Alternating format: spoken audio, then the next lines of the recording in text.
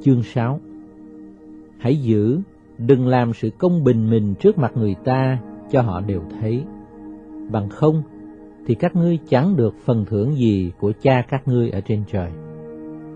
Vậy, khi ngươi bố thí, đừng thổi kèn trước mặt mình như bọn giả hình làm trong nhà hội và ngoài đường để được người ta tôn kính.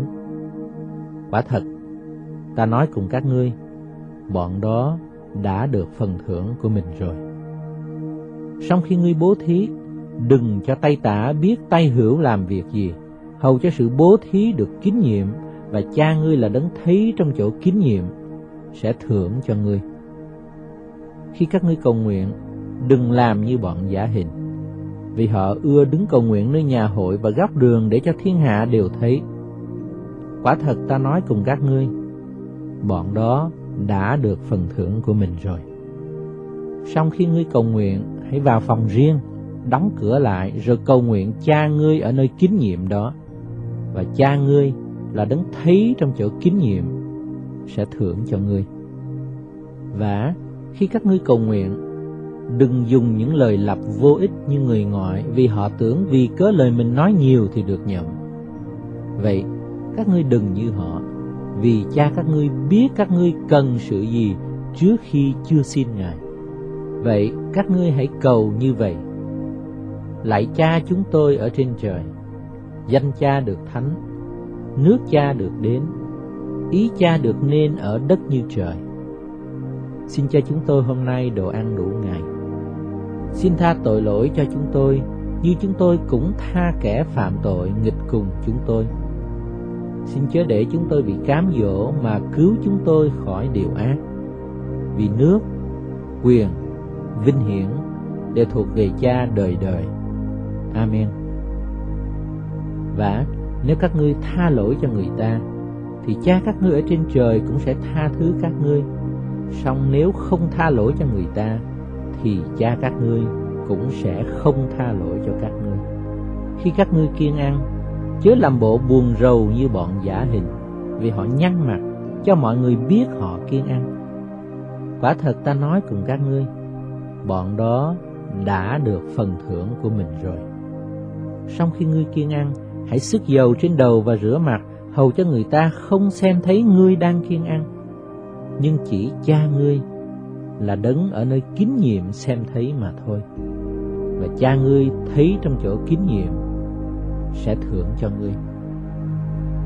Các ngươi chớ chứa của cải ở dưới đất là nơi có sâu mối ten rét làm hư và kẻ trộm đào ngạch khoét vách mà lấy. Nhưng phải chứa của cải ở trên trời là nơi chẳng có sâu mối ten rét làm hư, cũng chẳng có kẻ trộm đào ngạch khoét vách mà lấy. Vì chân của cải ngươi ở đâu, thì lòng ngươi cũng ở đó. Con mắt là đèn của thân thể. Nếu mắt ngươi sáng sủa thì cả thân thể ngươi sẽ được sáng láng. Nhưng nếu mắt ngươi xấu thì cả thân thể sẽ tối tăm. Vậy nếu sự sáng láng trong ngươi chỉ là tối tăm, thì sự tối tăm này sẽ lớn biết là giường bao. Chẳng ai được làm tôi hai chủ, vì sẽ ghét người này mà yêu người kia, hoặc trọng người này mà khinh người kia. Các ngươi không có thể làm tôi Đức Chúa Trời, lại làm tôi ma môn nữa. Vậy nên ta phán cùng các ngươi rằng, đừng vì sự sống mình mà lo đồ ăn uống, cũng đừng vì thân thể mình mà lo đồ mặc. Sự sống há chẳng quý trọng hơn đồ ăn sao? Thân thể há chẳng quý trọng hơn quần áo sao? Hãy xem loài chim trời, chẳng có gieo, gặt, cũng chẳng có thâu trữ vào kho tàng mà cha các ngươi trên trời nuôi nó. Các ngươi há chẳng phải là quý trọng hơn loài chim sao? vả lại, có ai trong vòng các ngươi lo lắng mà làm cho đời mình được dài thêm một khắc không? Còn về phần quần áo, các ngươi lại lo lắng mà làm chi? Hãy ngắm xem những hoa huệ ngoài đồng mọc lên thế nào. Chẳng làm khó nhọc, cũng không kéo chỉ. Nhưng ta phán cùng các ngươi, dẫu vua Salomon sang trọng đến đâu, cũng không được mặc áo tốt như một hoa nào trong giống đó. Hỡi kẻ ít đức tin, loài cỏ ngoài đồng là giống nay còn sống mai bỏ vào lò, mà Đức Chúa Trời còn cho nó mặt đẹp thể ấy thay, huống chi là các ngươi.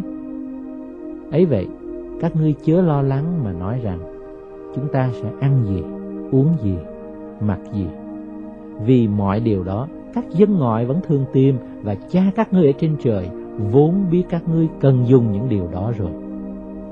Nhưng trước hết, hãy tìm kiếm nước Đức Chúa Trời và sự công bình của Ngài, thì Ngài sẽ cho thêm các ngươi mọi điều ấy nữa. Vậy, chớ lo lắng chi về ngày mai, vì ngày mai sẽ lo về việc ngày mai. Sự khó nhọc ngày nào đủ cho ngày ấy.